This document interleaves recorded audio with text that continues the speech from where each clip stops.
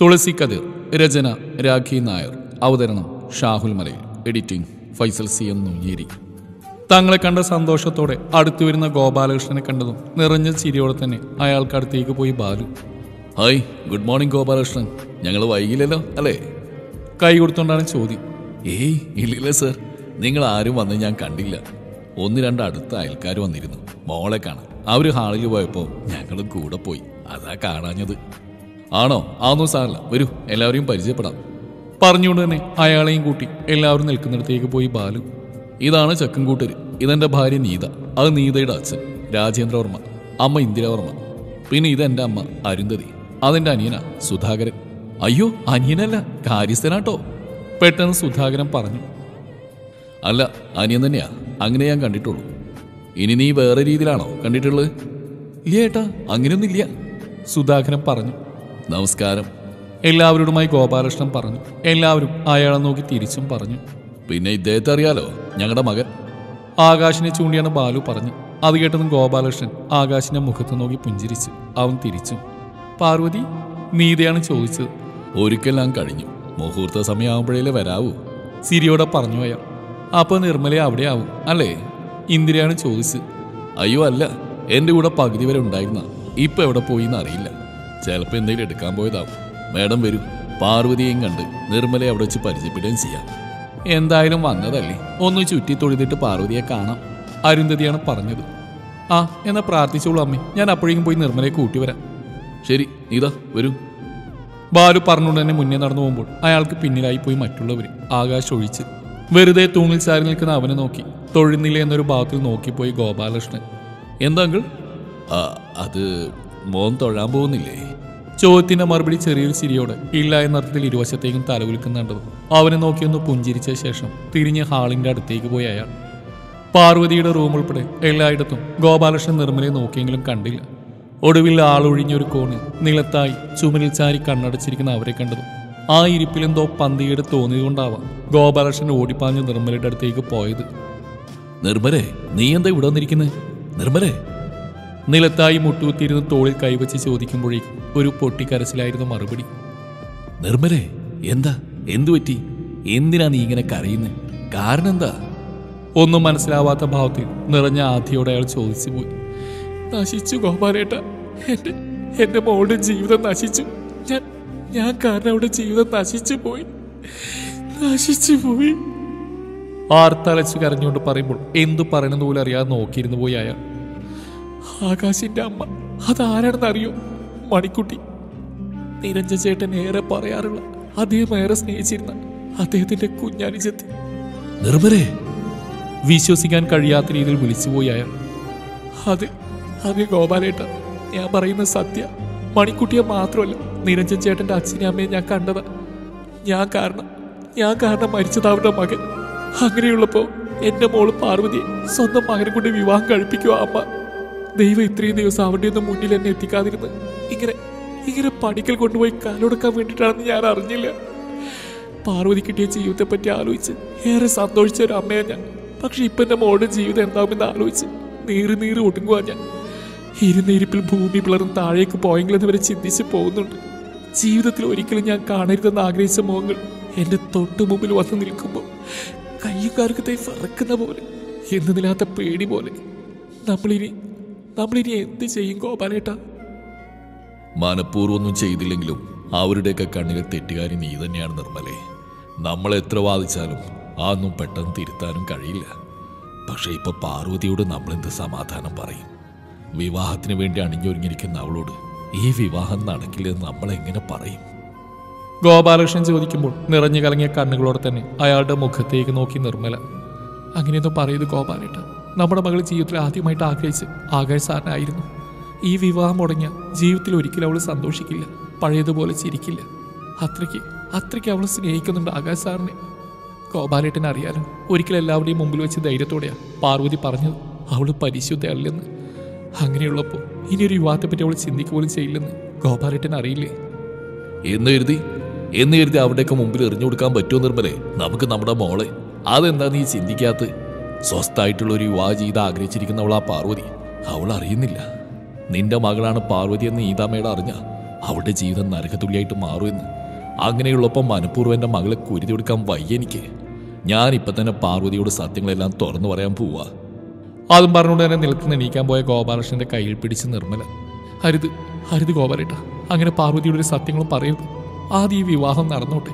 എല്ലാം കഴിഞ്ഞ് എല്ലാവരുടെയും കാൽ പിടിച്ചിട്ടായാലും. എല്ലാ സത്യങ്ങളും ഞാൻ അവരോടൊക്കെ എണ്ണി എണ്ണി പറഞ്ഞോളാം. എത്രയൊക്കെ ആയാലും വിവാഹം കഴിഞ്ഞു കഴിഞ്ഞാൽ പാർവതി ഉപേക്ഷിച്ച് പോയില്ല ആകാശ് സാറ്. നിർമ്മലേ ഇത് തീക്കളിയ. നമ്മുടെ മോളുടെ ജീവിതം വെച്ച് നീ പന്താറാൻ ശ്രമിക്കരുത്. അറിഞ്ഞുകൊണ്ടൊരു തെറ്റും ചെയ്യാത്തൊരു ജന്മാണ് എന്റേത് എന്റെ ഭാഗത്തെ എല്ലാ ശരികളും ഗോപാലേട്ടൻ നന്നായിട്ട് അറിയാലോ. എനിക്കറിയാം നിരഞ്ജൻ ചേട്ടൻ മരിക്കാൻ ഒരു കാരണക്കാരി ഞാനാണെന്ന്. ആ പക ഒരിക്കലും നീതിയുടെ മനസ്സിൽ നിന്നും മായില്ലെന്ന്. പക്ഷേ ഇപ്പോൾ ഈ നിമിഷം ഞാൻ ചിന്തിക്കുന്നു ഒരമ്മയായി മാത്രം. ഒരമ്മയെ സംബന്ധിച്ച് ഏറ്റവും വലുത് മകളുടെ സന്തോഷവും അവളുടെ ജീവിതത്തിന്റെ സുരക്ഷയുമാണ്. അതുകൊണ്ട് തന്നെ ഈ വിവാഹം നടക്കണം. നിറഞ്ഞൊഴുകുന്ന കണ്ണുകളെ വകവെക്കാതെ തന്നെ ഉറച്ച ശബ്ദത്തിൽ പറഞ്ഞു നിർമ്മല. പാർവതിയുടെ ഇപ്പോഴത്തെ സന്തോഷത്തിന് ഒരു നീർക്കുമിളയുടെ ആയുസ് മാത്രമേ ഉള്ളൂ നിർമ്മലേ. നിന്നെ അവരൊക്കെ കാണുന്നതോടുകൂടി തീരും അവളുടെ സന്തോഷം. അതുകൊണ്ട് വേണ്ട. പാർവതിയോട് ഇപ്പൊ തന്നെ നമുക്ക് സത്യങ്ങളെല്ലാം തുറന്നു പറയാം. പാർവതിയുടെ ഗോപാലേട്ട സത്യങ്ങളെല്ലാം തുറന്നു പറഞ്ഞു പിന്നീട് ഒരിക്കലും ഗോപാലേട്ട എന്നെ കാണില്ല. ഉറച്ച ശബ്ദത്തിൽ തന്നെ അയാളുടെ മുഖത്ത് നോക്കി പറയുമ്പോൾ വിശ്വസിക്കാൻ കഴിയാത്ത രീതിയിൽ നിർമ്മലയുടെ മുഖത്തേക്ക് നോക്കിയിരുന്നു പോയി ഗോപാലകൃഷ്ണൻ. നിർമ്മലേ. അതെ ഗോപാലേട്ട എനിക്ക് പറ്റില്ല. എനിക്ക് പറ്റില്ല എന്റെ കുട്ടിയുടെ കണ്ണീർ കണ്ട് ജീവിക്കാൻ. ഇവിടെ എനിക്ക് ആകാശാലിൽ പരിപൂർണ വിശ്വാസമുണ്ട്. പാർവതി ഏത് അവസരത്തിൽ അദ്ദേഹം കൈവിടില്ലെന്നുള്ള വിശ്വാസം. ആ വിശ്വാസത്തിന്റെ പുറത്ത് പറയുക ഇപ്പം ഈ വിവാഹം നടന്നില്ലെങ്കിൽ പിന്നീട് ഒരിക്കലും അത് നടക്കില്ല. അതുകൊണ്ട് ദയവ് ചെയ്ത് ദയവ് ചെയ്ത് താലിയിട്ട് കഴിയുന്നവരെങ്കിലും അവരാരും എന്നെ കാണരുത്. കാണേണ്ട ഗതി ഗോപാലേട്ടനായിട്ട് ഉണ്ടാക്കരുത്. വിവാഹം ഒന്ന് കഴിഞ്ഞോട്ടെ. ഞാൻ തന്നെ എല്ലാവരുടെ എല്ലാ സത്യങ്ങളും തുറന്നു പറയാം. ആ നിന്റെ തീരുമാനം അങ്ങനെയാണെങ്കിൽ ഞാൻ എതിർക്കുന്നില്ല.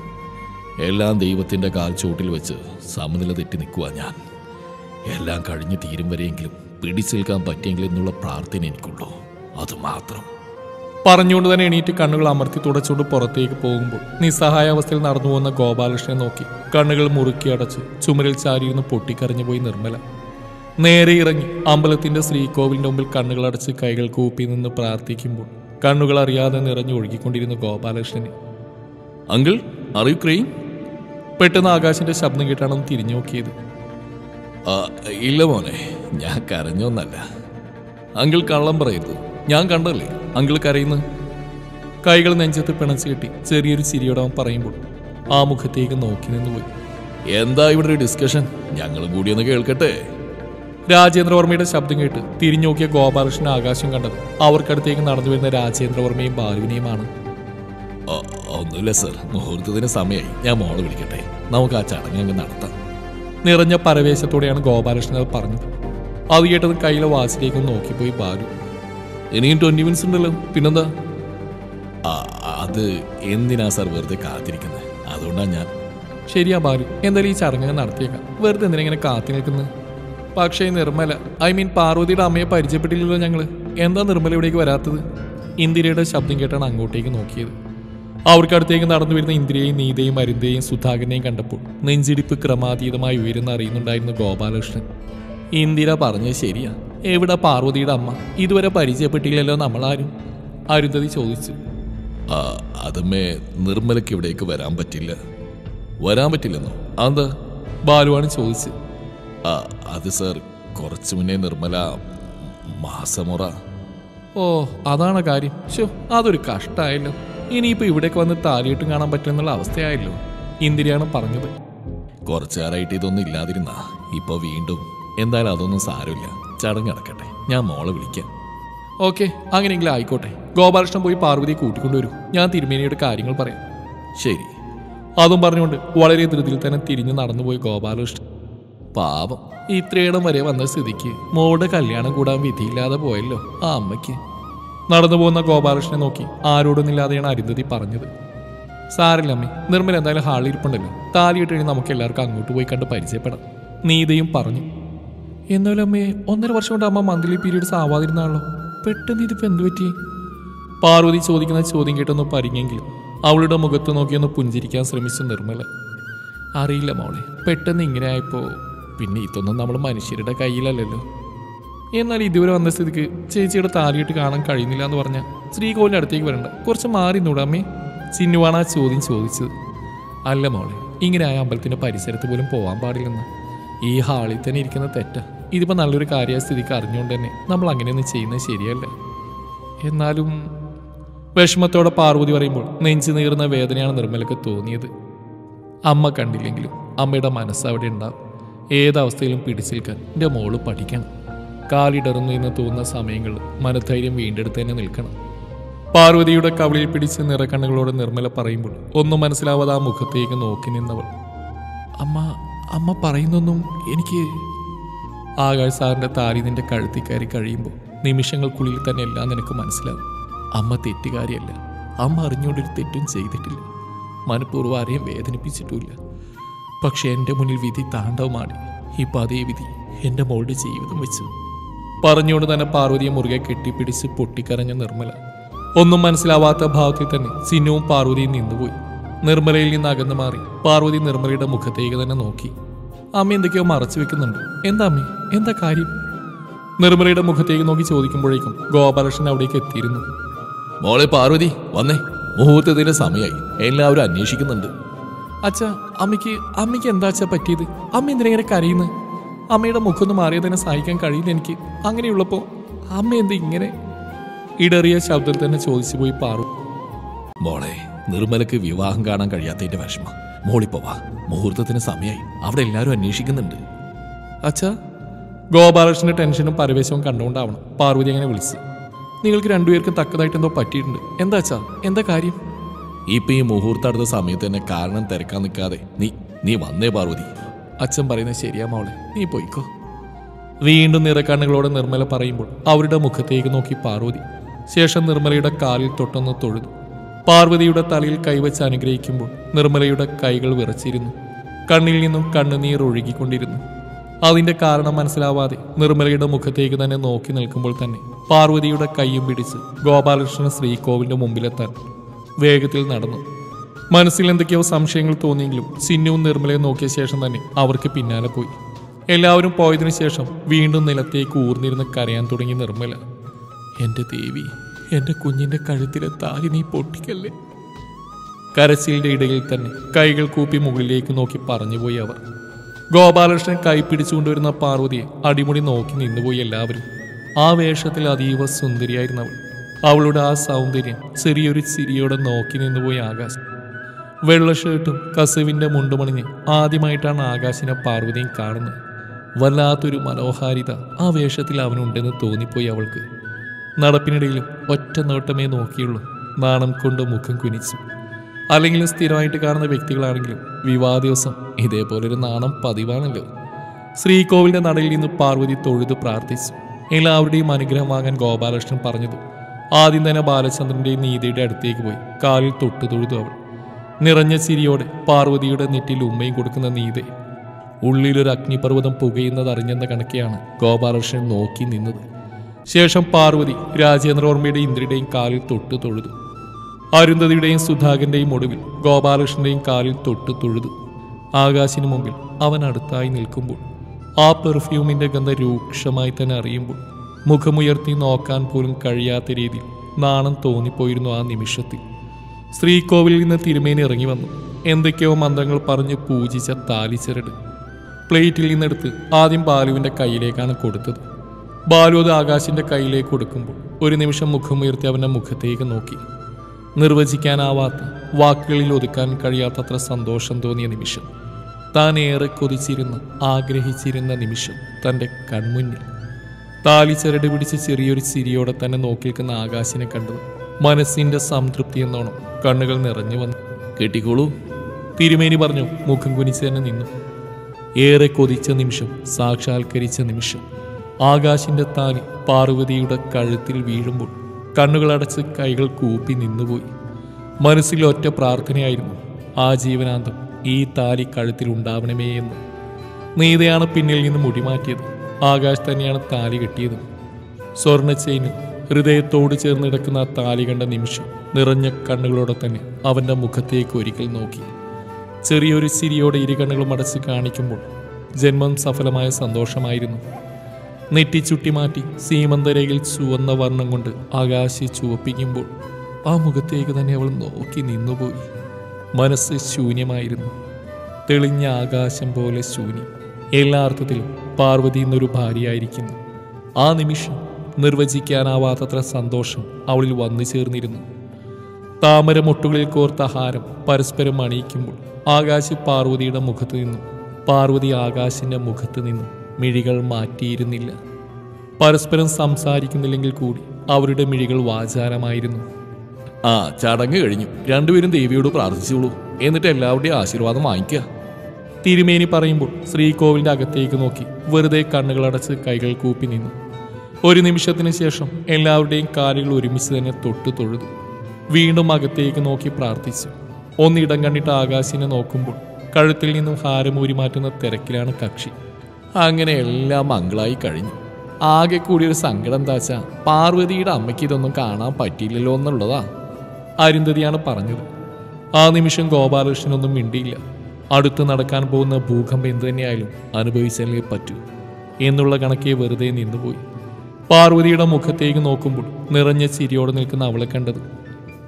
ആ ചിരി അല്പനിമിഷത്തിനുള്ളിൽ തന്നെ മങ്ങുമല്ലേ എന്നോർത്ത് അയാളെന്ന അച്ഛന്റെ ഹൃദയം പിടഞ്ഞു. നമുക്ക് പോയി നിർമ്മലയെ കാണാം. സീതയാണെന്ന് പറഞ്ഞത്. ശരിയാ ചടങ്ങ് കഴിഞ്ഞ സ്ഥിതിക്ക് ഇനി നിർമ്മലയുടെ അനുഗ്രഹം വാങ്ങിക്കാം. എന്തിനേയും പറഞ്ഞു. എല്ലാവരും ഹാളിലേക്ക് നടന്നു. എല്ലാവർക്കും പിന്നിലായി തകർന്ന് ഞെരിപ്പോടായ മനസ്സോടെ ഗോപാലകൃഷ്ണനും. കുറച്ച് നടന്ന് ഹാളിലേക്ക് എത്തുന്നതിന് തൊട്ടു മുമ്പ് ഒന്ന് മുഖമുയർത്തി നോക്കുമ്പോൾ കുറച്ച് മാറി തനിക്കെതിരെ തലകുനി നിൽക്കുന്ന സ്ത്രീ രൂപത്തെ കണ്ട് ഞെട്ടിത്തരിച്ചു പോയി നീത. നീത മാത്രമല്ല ഇന്ദിരയും രാജേന്ദ്രവർമ്മയും അമ്മേ. വിളിച്ചുകൊണ്ട് ചിന്നു നിർമ്മലക്കടുത്തേക്ക് ഓടുമ്പോൾ ചിന്നുവിനെയും നിർമ്മലയെയും രൂക്ഷമായി തന്നെ നോക്കി നിന്നുപോയി നീത. കണ്ണുകളിൽ അഗ്നി പടരുന്ന ദേഷ്യം തോന്നിപ്പോയ നിമിഷം. അതിനോടകം തന്നെ നീതയും ഇന്ദിരയും രാജേന്ദ്രവർമ്മയും ഒഴികെ മറ്റുള്ളവർ നടന്ന് നിർമ്മലയുടെ അടുത്തായി എത്തിയിരുന്നു. നിറഞ്ഞ കണ്ണുകളോടെ ആരുടെയും മുഖത്ത് പോലും നോക്കാതെ മുഖം കുനിച്ച് നിൽക്കുന്ന നിർമ്മലയുടെ അടുത്തായി തന്നെ ഗോപാലകൃഷ്ണൻ നിന്നു. അമ്മേ ഞങ്ങൾ അനുഗ്രഹിക്കണം. നിർമ്മലയുടെ മുമ്പിലായി വന്നു നിന്ന് പാർവതിയാണ് പറഞ്ഞത് ശേഷം പാർവതിയും ആകാശം ഒരുമിച്ച് തന്നെ ആ കാലിൽ വീണ് അനുഗ്രഹം വാങ്ങാൻ കുനിഞ്ഞു. അപ്പു! ഉറക്കെയുള്ള നീതയുടെ വിളികേട്ടാണ് എല്ലാവരും തിരിഞ്ഞു നോക്കിയത്. അതീവ ദേഷ്യഭാവത്തിൽ തന്നെ തങ്ങൾക്കടുത്തേക്ക് നടന്നു വരുന്ന നീതയെ കണ്ടത് ഒന്നും മനസ്സിലാവാത്ത രീതിയിൽ തന്നെ പരസ്പരം നോക്കിപ്പോയി ആകാശം പാർവതി നീത നേരെ നടന്നു വന്ന് നിർമ്മലയുടെ മുമ്പിലാണ് നിന്നത്.